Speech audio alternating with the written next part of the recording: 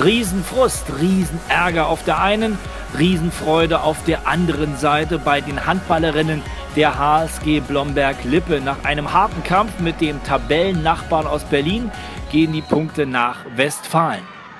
Die Ausgangslage ließ ein enges Spiel erwarten, denn in der Tabelle trennen die punktgleichen Teams vor der Partie nur zwölf Treffer.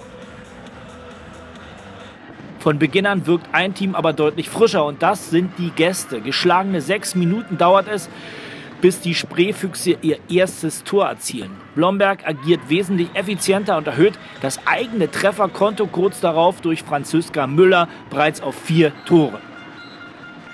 Für Füchse-Coach Lars Melzer ein klares Zeichen, sein Team per Auszeit aufzuwecken.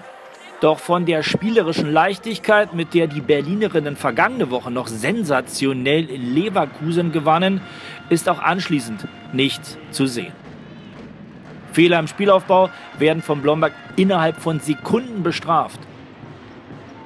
Die Langzeitverletzten Bianca Trumpf und Anna Blödorn müssen mit ansehen, wie ihr Team, bei dem heute auch Alexandra Sviridenko und Nathalie Augsburg fehlen, mit einem 10 zu 15 in die Pause geht. Das Verletzungspech will Lars Melzer als Ausrede aber nicht gelten lassen.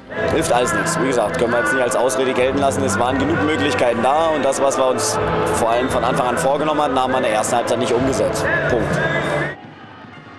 Zu Beginn der zweiten Hälfte wird der Rückstand zunächst noch größer. Lisa Bormann-Reis mit dem 20 zu 12 aus Gästesicht. Als alles nach einem Kantersieg ausschaut, beginnen die Spreefüchse ihre Aufholjagd. Angeführt von Laura Steinbach, die in den zweiten 30 Minuten sechs Treffer erzielt, kämpfen sich die Hauptstädterinnen Tor um Tor wieder heran. Eine Minute vor Schluss kann Anna Eber sogar bis auf ein Tor verkürzen. Am Ende sind es aber die Paraden von Blombergs Torhüterin Isabel Roch, die Berlin die Punkte kosten. Egal ob beim 7 Meter oder aus dem Spiel. Roch findet immer eine Hand an den Ball. Meine Torwartkollegin, die ist ja auch verletzt oder ist auch oder krank, wie man es nennen möchte. Und äh, ich weiß, sie haben halt gerade nur mich und ähm, ich gebe dafür alles und jetzt hat es heute auch wieder rentiert. Nämlich in Form eines 30 zu 27 Auswärtssieges, der bei den Trainern verständlicherweise zu unterschiedlichen Resümees führt.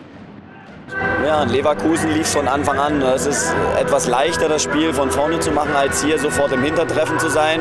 Plus eben das schnelle Gegenstoßspiel von Blomberg, die also wirklich jeden Fehler brutal bestrafen. Wir haben Berlin hinter uns gelassen, das war wichtig.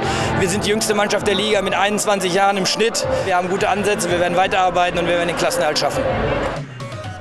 Auf gleicher Mission geht es auch für die Aufsteiger aus Berlin weiter. Nächste Woche erwartet die Spreefüchse in Bietigheim eine ähnlich umkämpfte Partie. Dann aber hoffentlich wieder mit einem besseren Ausgang.